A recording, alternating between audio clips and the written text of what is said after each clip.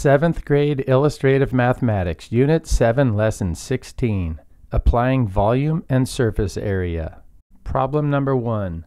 A landscape architect is designing a pool that has this top view. A. How much water will be needed to fill this pool 4 feet deep? Deconstruct this top view. This section has the dimensions 11 by 1.5 and it's 4 feet deep. This section has the dimensions 9 by 10.5 and it's also 4 feet deep. And this last section that's in the shape of a triangle is 2 by 10.5 by 4 and since it's a triangle we need to divide it by 2. This gives you the volume for each of the three sections of the pool. Add them together and you know how much water will be needed to fill the pool 4 feet deep. This pool holds 486 cubic feet of water. B. Before filling up the pool, it gets lined with a plastic liner. How much liner is needed for this pool? We need to find the area for all four sides and the bottom of the pool. The dimensions for this side are 9 by 4 feet deep. For this side, 10.7 by 4 feet deep by this little section 1.5 by 4 feet deep, for this section 11 by 4 feet deep, and this section 12 by 4 feet deep. After we find the area for these walls, we need to find the area for the bottom of the pool. Let's find the area for the walls first and then come back to the bottom of the pool multiply to find the area for each of the walls, then add up each of their areas, and you'll have the area for all the walls combined. The area for all these walls is 176.8 feet squared. And we'll add that to the area of the floor. To find the area of the floor, I'm going to treat this shape like a rectangle first, and then I'll subtract this little triangle sliver from the side. I'll use the dimensions 12 by 11, which gives me 132. And for the little triangle, I'll use the dimensions 2 by 10.5, which is 21. And remember, it's a triangle, so we have to divide it by 2. 21 divided by 2 is 10.5.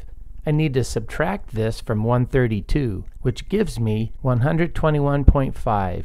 Now all I have to do is add that to the area of the walls. They would need 298.3 square feet of plastic liner. C. Here are the prices for different amounts of plastic liner. How much will the plastic liner for the pool cost?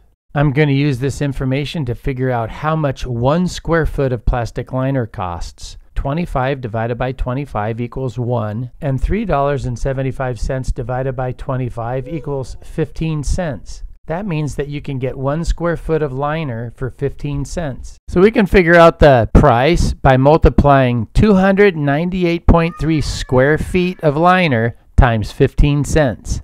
The total cost for the pool liner would be $44.75. Problem number two from 7th grade, Unit 7, Lesson 13. Shade in the base of the trapezoidal prism. Be careful, the base is not the same as the bottom. I shaded in two bases. Find the area of the base you shaded. Because of the shape of the base, I'll make a rectangle and a triangle. The dimensions of the rectangle are 4 by 5. To find the dimensions of this triangle, I could subtract 5 from 8. 8 minus 5 is 3, so the base of the triangle is 3, and its height is 4. The area of the rectangle will be 5 times 4, which is 20, so 20 square units for the rectangle, and the area for the triangle will be half of 4 times 3, or 4 times 3 divided by 2. 12 divided by 2 is 6, so the area of the triangle is 6 square units.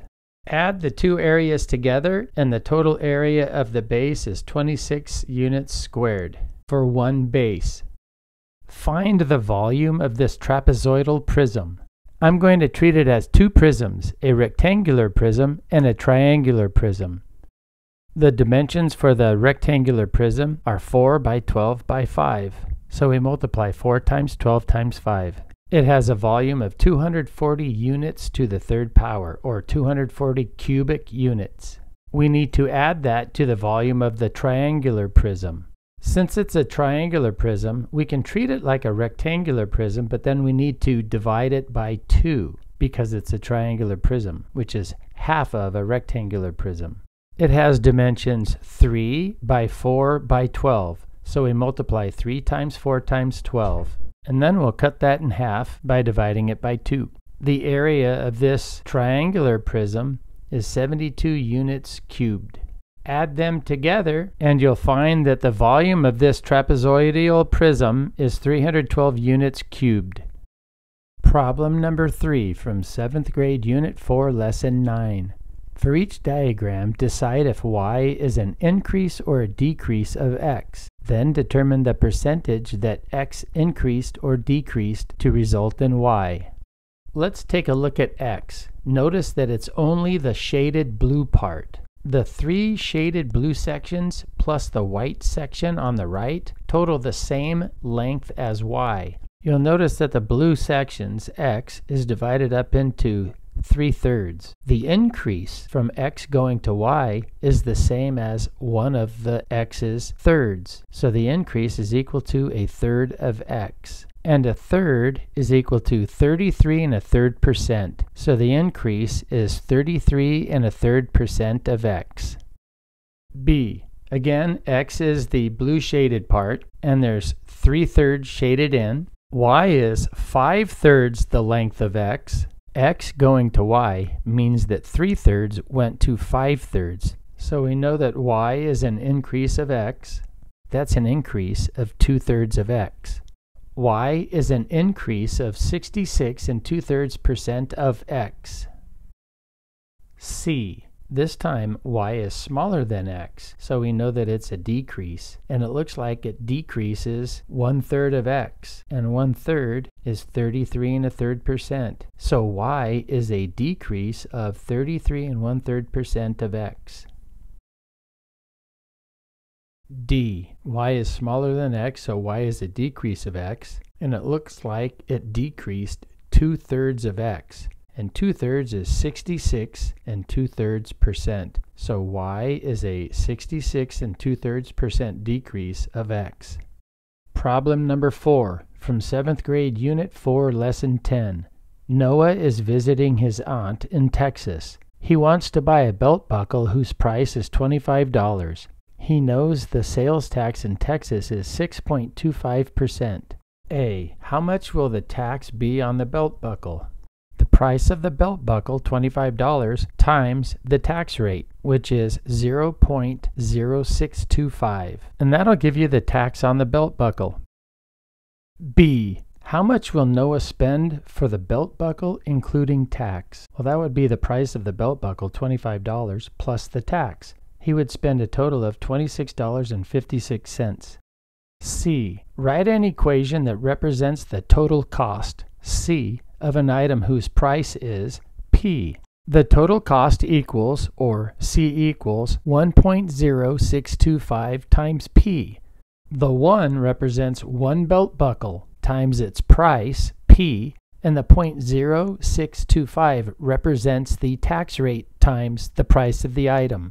I hope this helps, and thanks for watching. If you haven't already subscribed, please subscribe. I appreciate it. See you next time.